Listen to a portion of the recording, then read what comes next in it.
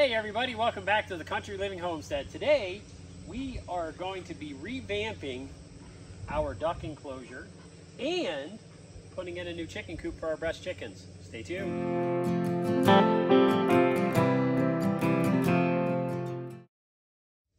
Okay, so to kind of give you an idea of what we're going to be doing, so we're removing all of this old chicken wire because this is getting pretty nasty and the weeds are growing into it and it's just time for it to go. Plus, we're going to be expanding our duck area out that direction because we found an incredible deal for a swimming pool for them. So we're going to put a swimming pool right back there for them. And then also we've got our Bresse chickens. Uh, we're going to be taking that and moving that a little this direction and also bringing our uh, storage shed. We're going to bring that down, convert that into the coop for those guys. And uh, so right now, I'm just kind of removing these old posts and removing this old fence. Uh, we use some temporary electric fence to kind of hold them in uh, in an area where, where we want to contain them so that way they're not in our way as we're trying to get this done.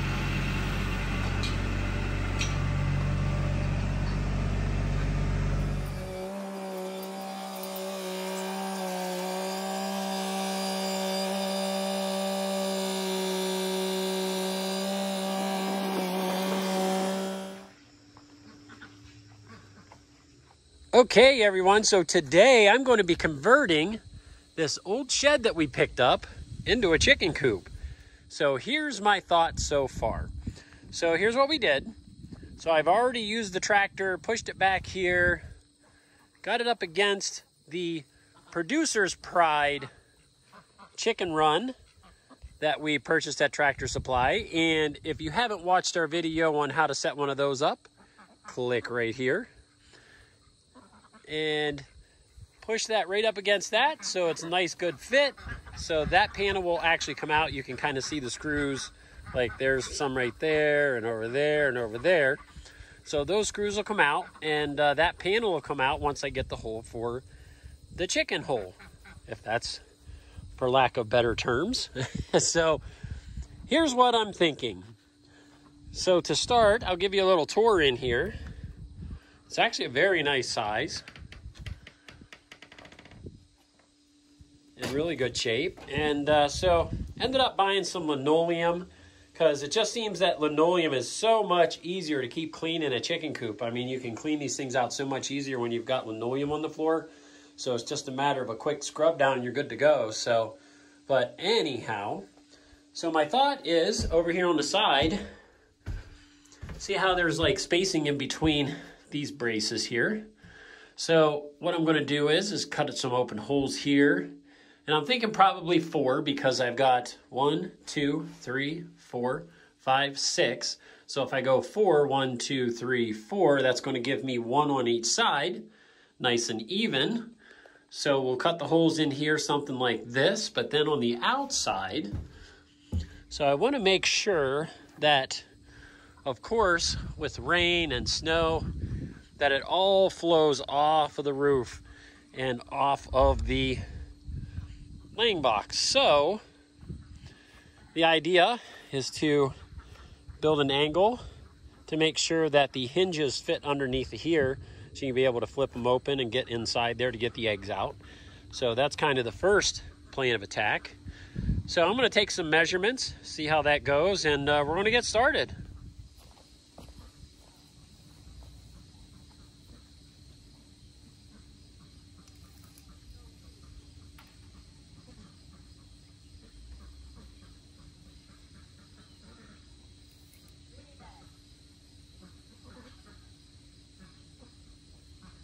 Okay, so I think for the first length, or actually should I say height of this, is probably going to be around 24 inches. That's going to give me plenty of room to be able to install the hinges up top, plus give some room on the bottom, and then also give lots of room inside the nesting box. So 24 inches, I think that's what I'm going to go with for right now, and uh, then I'll take some additional measurements to, uh, to get this tweaked in the right direction.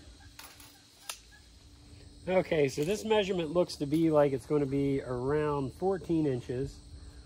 Then I measured up about 12 inches. That should still give enough. area. So I'm just going to measure this at 14. And plus, that's actually going to allow me to do a little bit steeper of a pitch, which is good. I, I was hoping to get like a really steep pitch anyways. So this is actually going to work out perfect. So now, got a much steeper pitch. Still plenty of room for a chicken in there to hatch an egg, or lay an egg, should I say. Well, I guess they could hatch them in there too, but we'll just draw a line straight down. That definitely looks much better. So let me get this cut out. We'll hold it up there and see what it looks like.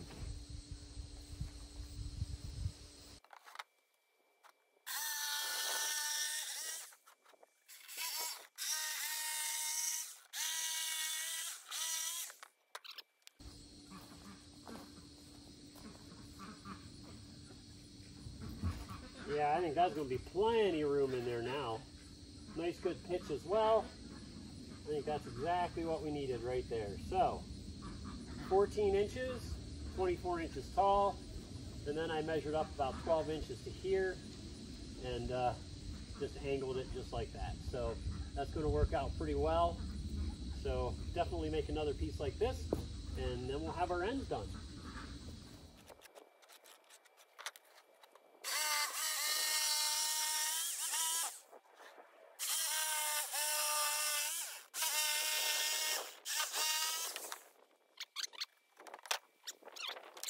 So here's my thought. So what I'm going to do is cut a hole somewhere in this area. I'll show you on the inside because it's probably going to be easier. So basically what I want to do is I want this to be open so the chicken can get in to the nesting box. All you need to do is take a brace, lay it on here, attach it to that inner brace that's in there, cut out the hole, run the brace down from like here down to here, and then the inside of this will be able to slide up and attach right there. Okay, so now here's what I got going on in the inside. So I just want to cut a large enough area so that way the chicken can get into the nesting box. So I'm thinking about right in there because I want to leave just a little bit of room, number one, for the piece of plywood that's going to go on the top to hinge open. And then also for the hinge. So we're going to need some space for the hinge as well. So it's about right in here. So what I'm doing is, is basically just measuring this right now to get an idea. So that's about 24 and a quarter inches. So I'm to do the same thing over here on this side just to make sure that that we get the right spacing and then also that uh, this is going to be nice and straight across. And uh, I'm just going to drill a couple of holes, like four holes, take my Sawzall, cut a nice square in there. So now's the fun part is to cut a hole in the side of this building. Yay, hope it turns out good.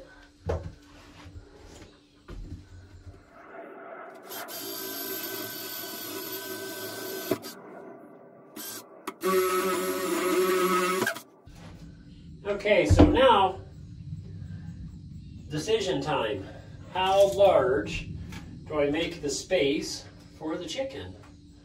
So I'm almost thinking probably, I don't know, maybe, uh, probably about 16 inches should probably do it. So I'm just going to mark 16 inches right here. And that's roughly about eight and a half from the top. So I'll just go eight and a half from the top here, make a nice straight line across.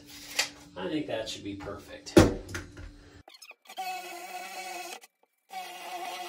Now to get a nice straight line in here, I'm just going to basically use my tape measure, line it up here, something like that. And I'm just going to draw a line across it. That should give me a pretty straight line.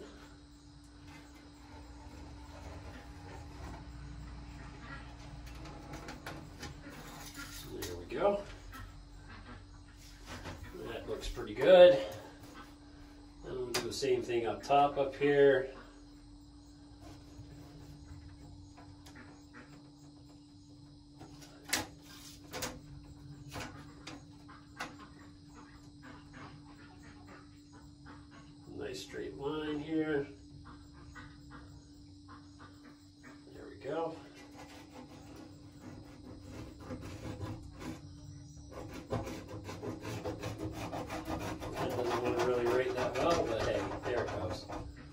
All right. That should get us pretty close. Let's get this cut out.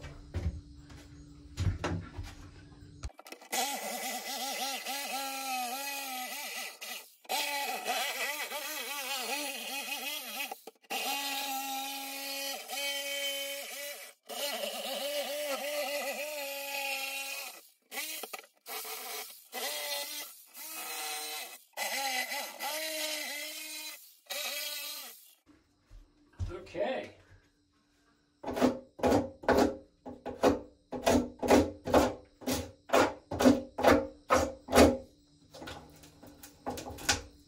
By golly, that looks like a hole in the wall. All right, let's keep going. Okay, so here's what I'm thinking. I'm almost wondering if I should cut a two by four in half so that way it's kind of thinner to run down this strip here and allow this to connect to it. I think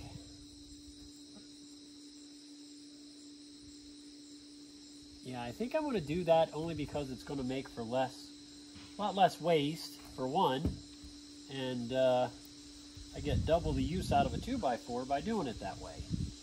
So yeah, I think I'm going to do that. Just rip a 2x4 in half a table saw, attach it to that 2x4 in there, and then this should attach this direction. Let's give it a go. Okay, so I've ripped this 2x4 in half. Now we got a couple pieces of bracing boards. Um, I measured 20 inches. That's about going to be right for what we need for this area. So I'm going to go ahead and cut that right now.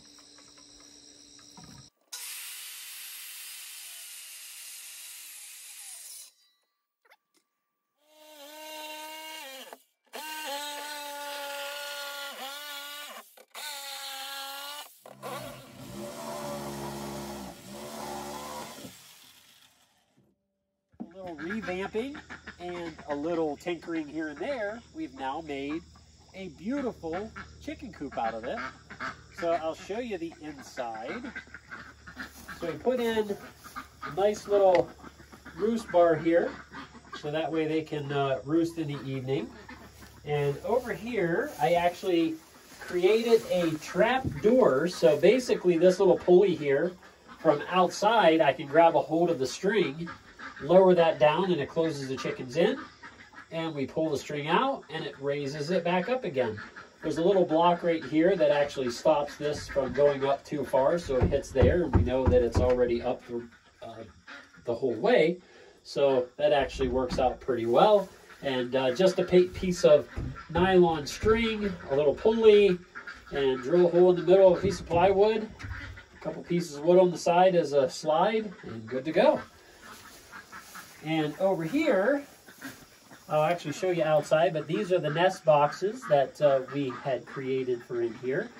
And uh, we wanted to do four because we've been noticing that when you start having more chickens, you need more nesting boxes. So we don't want to have our eggs busted or anything like that, but I'll show you how you get to that from the outside.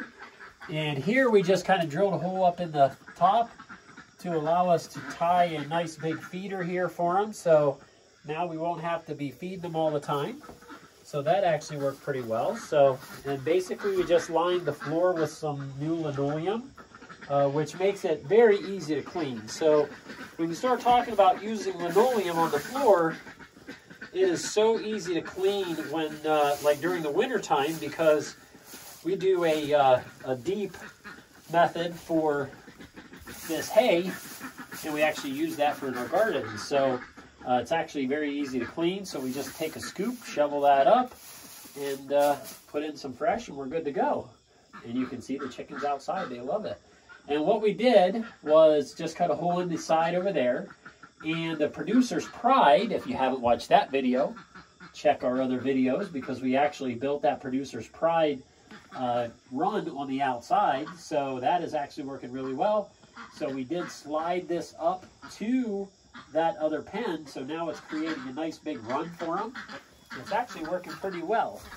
So I'll also show you nice little cute solar lamp that the wifey picked out. And kudos to the wifey. She did a beautiful job painting this. And here is the nest box. So basically all I did was I wanted to make sure that the top was in line here with the roof. That just allows snow to come off of it and rain to be able to wick right away from it, which actually works pretty well. A couple of hinges, and you lift up, and that is the nesting boxes. So you have easy access. You don't have to go inside to get the eggs or anything. So you actually have access right out here for that. So that actually works really, really well. And then we just took the producer's pride that we built and uh, basically just attached it to that. So in essence, we got a very nice chicken coop and run for our Bresse chickens, and uh, they love it. And as you can see, the ducks in the background, they're loving it too. but uh, this is actually working. To show you what we did outside on this side is we actually just cut a hole in the side of the wall, and this is just a regular piece of plexiglass. Drilled a couple holes in that, and uh, that's going to work out great for the winter time.